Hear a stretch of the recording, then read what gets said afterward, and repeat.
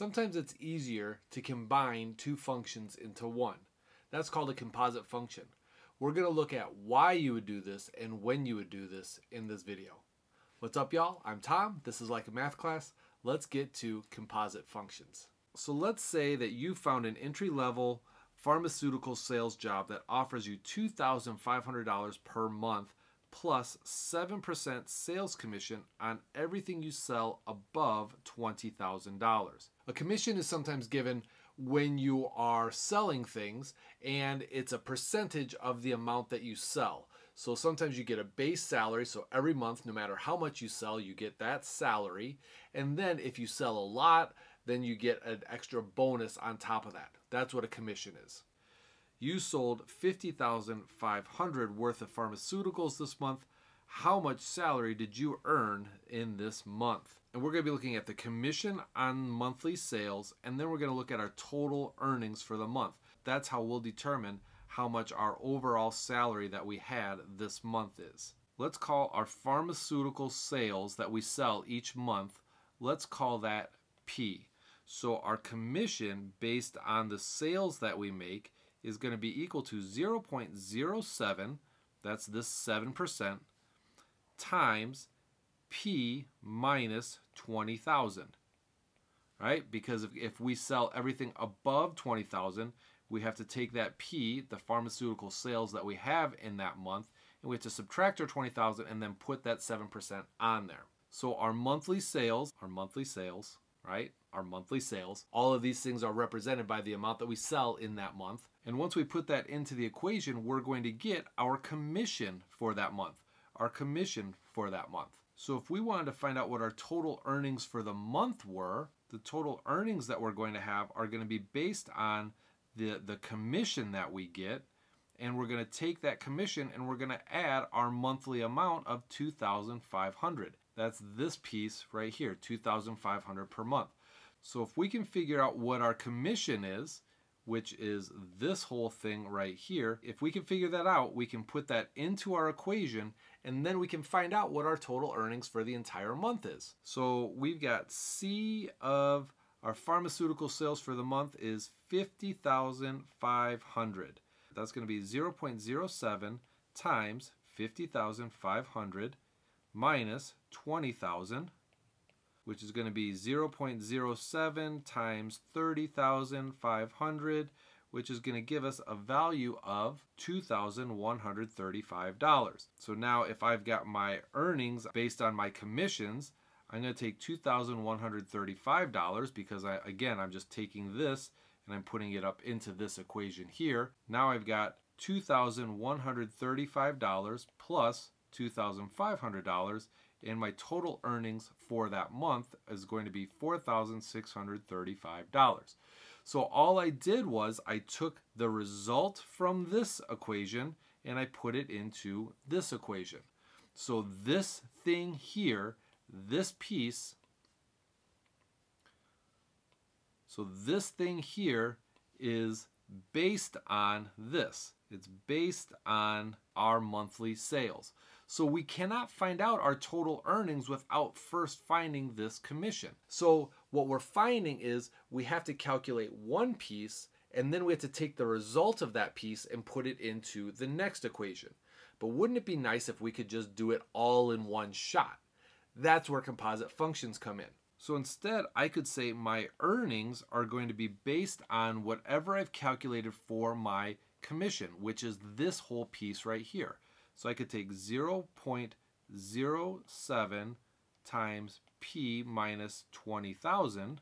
And if I did that, then that would mean if I'm following this same equation over here, I would put all of this in for my C value here, which means I'm going to have 0.07 times P minus 20,000 and then I'm going to add $2,500 for that.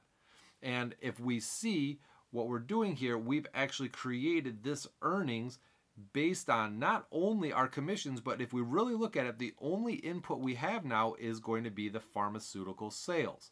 So what we've done is we've recreated an equation in terms of E of P, in terms of uh, the earnings in terms of our pharmaceutical sales. So I've got 0.07 times P minus 20,000 plus 2,500. So this P, this P, it's the only variable remaining when I substitute one equation into another. So what I've done is I've taken this earnings based on commission and I've now created an earnings equation or earnings function based on pharmaceutical sales. So I've just created one big equation instead.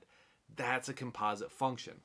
So composite functions are just taking one equation and putting it into another equation to simplify your overall process. Now, there's a few ways that we write this. One way that we write this is FOG, and you, will notice this is an open circle, and we say this or we read this as F of G. So when you see this open circle here, F of G, or F of G of X, or F of G of X or f of g uh, of x. These are all four different ways that you'll see this written. Now this one is not used as frequently, but you will see it occasionally show up on, on exams. I tend to stick with this whenever possible. I use this notation because this tells me, hey, I'm actually putting one equation inside another equation. So this one helps me recognize which one's going on the inside and which one's staying on the outside. What's commonly written on exams, the ones that I tend to see most frequently on exams, are these right here where we say f of g of x or f of g. So what I always do is if I see it one of these two ways or like this, I personally rewrite it this way. And what this means is that g is going into f. So notice up here, here we put the commission function inside the earnings one. So while we have this E of C, the one inside here is all of this. So if we know that these are all different ways to say that, here we can see this function went inside that one. So here this, the G is going inside F. The G is going inside of F. The G is going to go inside of F. The G is already inside F. So when you're creating a composite function, you need to remember that the second piece goes inside of the first piece, or as we've stated here, the second piece is already inside that first function. And if I wanted to write this as we did with our E, our earnings and our commission, this would be uh, E of C, or we could say uh, E of C of P, because we were talking about pharmaceutical sales. This was our pharmaceutical sales. This was our commission here is our earnings, right? We could do it that way. Or we could do E of C of P. So here's our pharmaceutical sales, here's our commission calculation, and that whole thing is going to give us our earning. Or you can say the same thing here where we've got E of C with P implies some result. Okay, that's a lot to kind of wrap your head around. Hopefully I'm not making it too complex for you, but I really want to drive home this idea of the second one goes inside the first one. So I've got two examples for us. One's going to be pretty straightforward and then one gets a little bit trickier. So let's take a look at those. So here we've got two functions. f of x is x minus 1 and g of x is x squared. So we want to find these three composite functions. So again, I'm going to rewrite this in the way that I'm more comfortable with. I'm going to write it as f of g of x. So I know that g of x is going inside of f of x. So here, this is actually x squared. And so, and, and then our function f is actually x minus 1. So what I'm going to do is I'm going to put x squared into x minus 1. So this is going to be x squared minus 1. What I've done is I've replaced every single x with g of x. g of x is x squared. So I'm replacing this x with x squared, which is why I come up with x squared minus 1. So I could say f of g of x is x squared minus 1. Now, what about this one here? Now we're saying f is going inside of g. All right, so now I'm going to have g of f of x. All right, so now this is x minus 1, where g is x squared. So now I'm going to be putting x minus 1 in everywhere I see x. I'm going to put x minus 1 in everywhere I see x. So this is going to be x minus 1 squared because this thing went inside of this thing. This thing went inside of this thing. So g of f of x is equal to x minus 1 squared. And then the last one, this one's kind of weird because it's saying put f inside of f. So here we're just going to put f of f of x. Now, this might not be something that you do in uh, a contextual situation, but it might be something that shows up on a test so it shows that you know what you're talking about when you're doing composite functions. So that's saying take x minus 1 and input it into every single time you see x in this x minus 1 function. So that's going to be this x minus 1 is going to go into this x. So I'm going to have x minus 1 minus 1. So I'm ultimately going to come up with x minus 2. So f of f of x is equal to x minus 2. Like I said, these were fairly straightforward problems. It's just taking one equation, popping it into another. If you found this helpful so far, give me a thumbs up, like the video, and let's get on to our next example, which is a little bit more tricky. Here we've got two functions, f of x, which is the square root of x minus 1, and g of x, which is x squared plus 5. So find g of f of x. So for part A, g of f of x. Okay, so that means I've got to put f of x inside of g.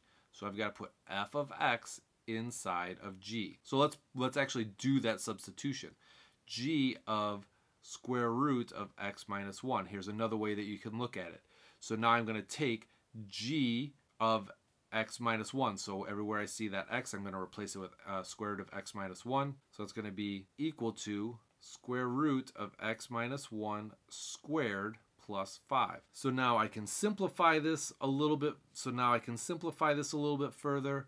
A square root squared just leaves me with that inside piece. So I'm going to have x minus 1 plus 5, which leaves me with x plus 4. Then B says state the domain and range for this. All right, so x plus 4. So if I look at x plus 4, well, the domain of this thing is going to be all real numbers, right? It's a linear equation. It's going to keep on going up. Straightforward, right? Not straightforward. This is why I said this one gets a little bit trickier. The domain of this is not all real numbers because in order for us to get to this, we had to go through this function. This is like a restriction on the domain of this end result. We know for a square root function that we can't have a negative inside there. If I take anything smaller than 1, I'm going to end up with a negative number. So in this case, the domain is going to be every x value bigger than or equal to 1. If I put 0 in for x, if I put if I put 0 in here, I'm going to get a positive 4. But if we go back to the very beginning and I put 0 into that square root function, I'm going to have 0 minus 1. That's going to be negative 1. Square root of negative 1. Can't do that. So we've got to have that restriction. So when you're looking at composite functions, make sure you go back to the inner function to determine what your domain might be because there might be some restrictions on there. And then our range, let's look at this in two slightly different ways. If I put uh, 1 into here, I'd have 1 plus 4, which is going to be 5. So I'm going to have everything bigger than 5. So in this case, y should be greater than or equal to 5. The other way to consider this, what if I put 1 into my original function? Okay, well that's going to be square root of 1 minus 1, which is square root of 0, which is 0. So if I did that, then this here, this would be, this would be g of 0. Because, right, this is the output, right? I Because I'd have to do this piece first. So the output of this is now the input of g. And if I put 0 into g, then that means I'm going to have g of 0 squared plus 5, which is 5, and these two things line up, which is why my range is greater than or equal to 5. So what did we just see? We actually saw two things there. First, we saw we have to look at the inner function to see if there's any constraints on our domain and then find our range from those constraints. And the second thing we saw was once we have our domain, we can either straight away put those values into our end result or we start taking those values, put it into uh, our inner function, our inner function, and calculate that. And then the result of that goes into our outer function. So the result of that goes into our outer function. So when you're looking at a test, if you don't remember how to do a composite or if it gets too complicated, put it in the inner function, calculate, take that result, and then put that into the outer function, calculate, get that result. As long as you've restricted the domain properly for that inner piece, you've now have inner piece. Ah. As long as you've found the the uh, the value of that inner piece, that will now be the input of our outside function. So that's it for composite functions. I'll see you in the next video where we start talking about inverse functions. I'll see you there.